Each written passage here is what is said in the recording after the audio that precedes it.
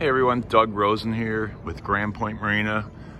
We're gonna take a quick look at the Solara S250 DC dual console. Beautiful boat, double stepped hull. You don't find too much of that in a 25 foot boat. Total length is about 29 feet on this boat. We've got laminate flow interrupters. Those help your performance and maneuverability. This has a standard bow thruster. That is standard with the Solara. Got a nice bow plate, stainless ladder in the front as well. Great looking boat, nice hard top. Couple of vents up top, built-in spreader lights. We have the shore power cable running right there for the boat show. This has a 300 Yamaha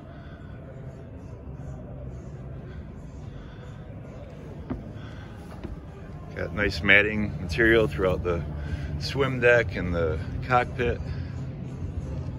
Ton of standard features on this. There's a transom shower in the back. Right here at the entryway. Live well underneath there. Nice sink. Nice little sitting area. Also there is a cooler underneath there with a drain in it. Got a fold out seat on the side here. Another fold out seat. We have shore power ability here. Got a grill that is standard. The refrigerator is standard. Subwoofer for the stereo system.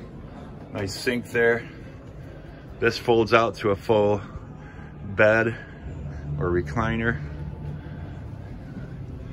More standard features. Lenco self leveling auto trim tabs.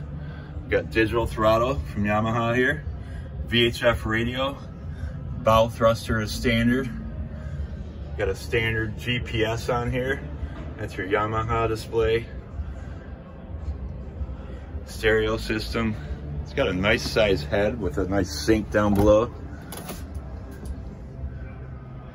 Lots of room to enter that. That's very large.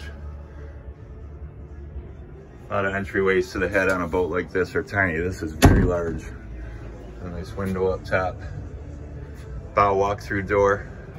Step up to the bow. We've got another stereo remote control underneath there. Speakers.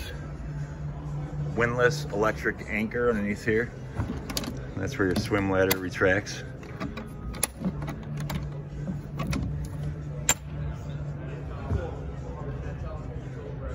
There's our windlass anchor system. It's an anchor included. Comes with a full safety pack. We have a full mooring cover for this boat, as well as a sunshade for the bow area. A couple poles slide into these, real easy to set up, and attaches right to the hard top.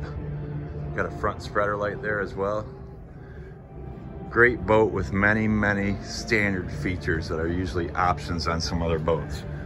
Great layout, lots of space, trailerable boat.